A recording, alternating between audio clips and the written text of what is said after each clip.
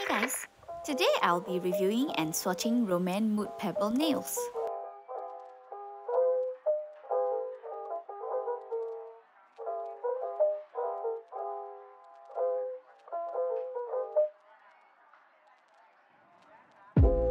I've picked up 4 shades out of the 17 shades available and one additional shade that came in Olive Young award box last year. Just a disclaimer that I'm obviously not a nail expert, so bear with me in the swatching and describing certain parts in this video. Now let's start with the packaging.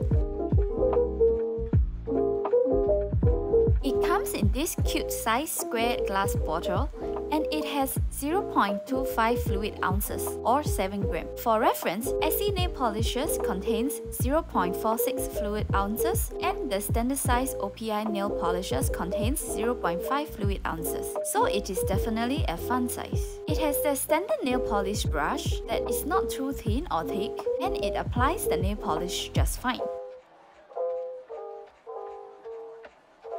For the formula, it is described on the website as a long-lasting nail polish without needing to apply a top coat. Based on my personal experience though, because of how thin the nail polish is, it tends to start chipping after about 2 to 3 days without the top coat. And the worst part for some, but the best part for me is that they peel. I know it could be annoying to some, but I really enjoy peeling them off.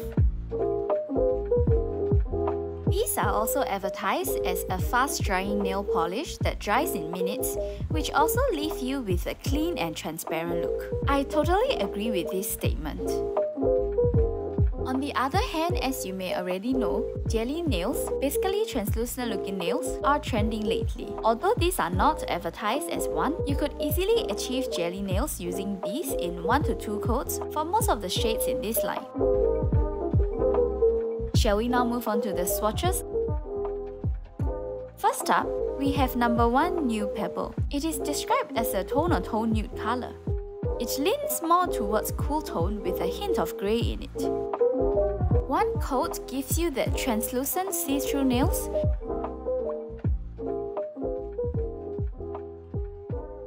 coats is quite opaque on my nails for a nude shade like this. It is perfect for everyday wear and does not make my hands look like that of a mannequin.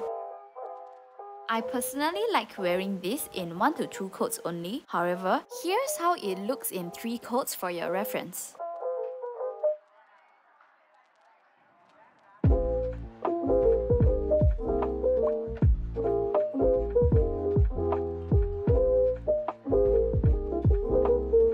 Next is number 4 mud green, which is described as a mystic green tea color. It gives a similar mood and tone as the previous shade Nu-Pebble. It, in my opinion, complements warm skin undertone well, and if you have a cool undertone, it can also warm it up. I like to wear this in 3 coats because as you can see, it is pretty see-through. And 1 to 2 coats seems too thin for my liking. Reveals more of mud green the more you layer it. It can still be worn as a daily shade on our light medium skin tone, but of course, it shows more of the personality as compared to the previous shade. Moving on to number 9 Amber. It is described as a caramel brown color with amber color, which I totally agree. It is a kind of color that you either love it or hate it. First coat is a no-no for me as it leans more towards yellow because of how transparent it is. However, I love layering and wearing this in 2 to 3 coats. I am in love with this shade.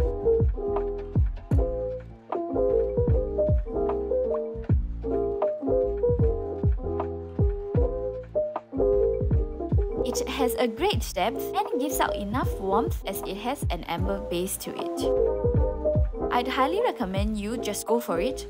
Who knows, it might just become your favorite.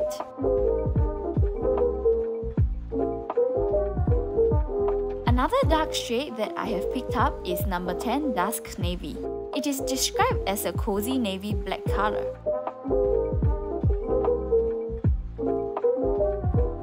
For one coat, it gives you a very sheer finish. I recommend you going for 2 to 3 coats at least for this shade. It definitely builds up nicely and gives that something something instead of just wearing black nail polishes. I love this for days that I want to put on deep dark nails but still want my nails to look interesting. Like, I want the people to wonder, is she wearing a black nail polish? Or wait, is it navy? Is it a blue black? you get my point. Last but not least, the shade that I have for swatch is Nude Grape. It came together with Rom&nd's Juicy Lasting Tint in number 25 Bare Grape end of last year on Olive Young. If you could get your hands on it, it is a color you would not want to miss. It is a muted pink to plum shade that really resembles the lip tint and is a shade I enjoy wearing in any number of coats. One coat gives me that wash of plum and 2 to 3 coats just look amazing.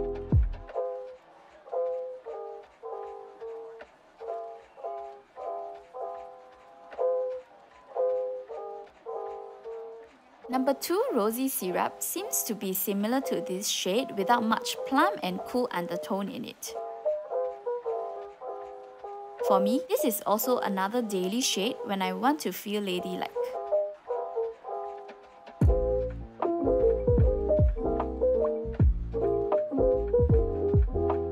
This is all I have for today guys.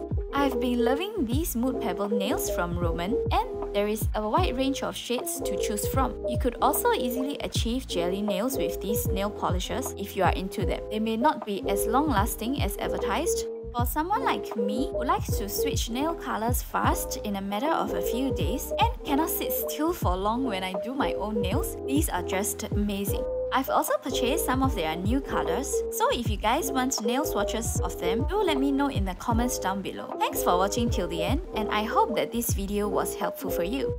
See you in my next video.